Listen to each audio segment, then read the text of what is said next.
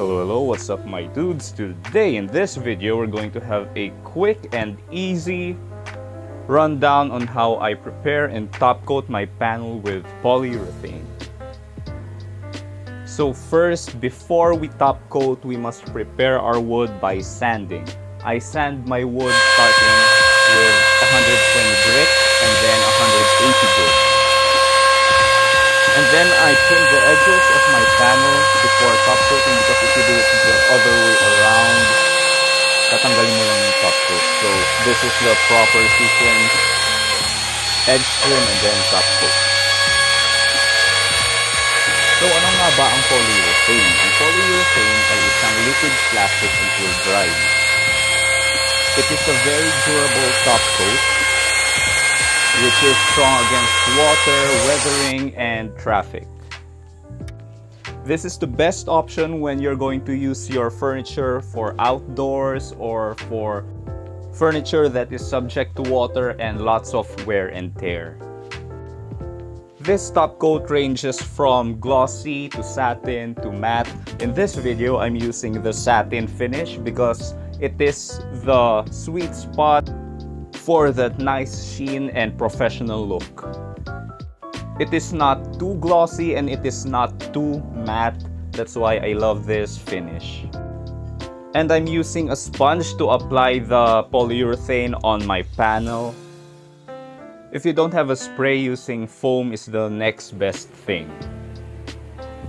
Now that we're done with our first coat, before we apply the second coat, we must sand between each coat. So I use 400 grit sandpaper here just to remove the slight roughness and so that you can apply your second coat smoothly.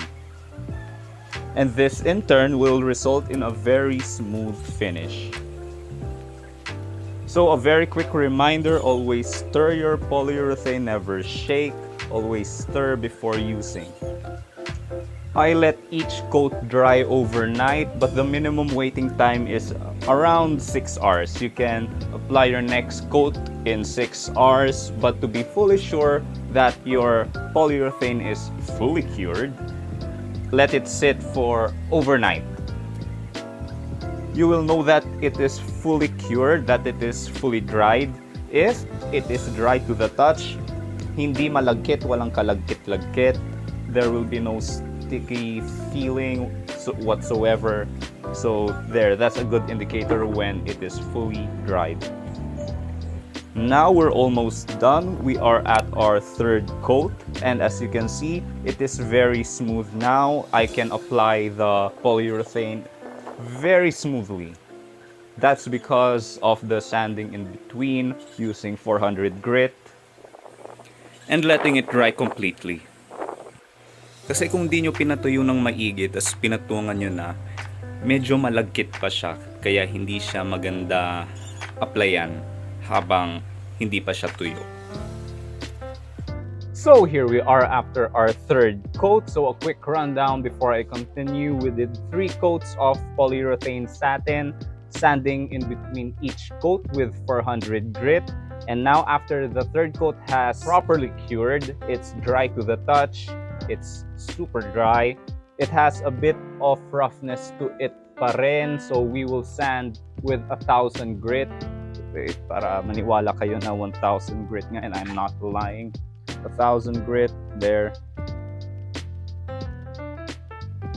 So after the third coat, and to give a very nice and smooth finish, very nice to the touch, we will sand with a thousand grit very lightly sanding just going through. You don't need to remove any material or remove any roughness. Just these light strokes will do. Not putting any weight. And then the end grain the sides. Yep. And we're done. So this is the satin finish as you can see. Wait, I think you can't see. So this is the satin finish. Oopsie. There's no glossiness to it, but it has a nice sheen, reflective enough, and not matte enough na mahirap siyang linisin, madali siyang linisin dahil ang smooth nga niya. It is water resistant, weather resistant, and I think scratch resistant. Yep, scratch resistant then.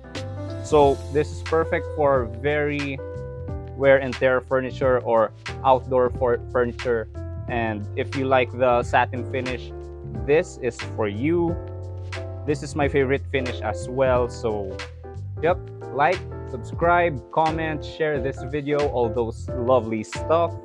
And stay tuned for more DIYs, tips, tool reviews, and the like. So, see you in the next one. Bye.